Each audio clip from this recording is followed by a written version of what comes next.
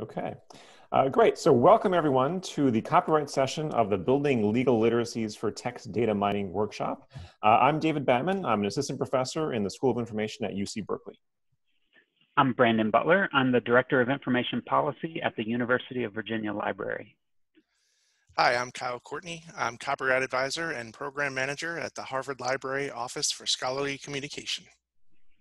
And hi, I'm Brianna Schofield. I'm the Executive Director of Authors Alliance.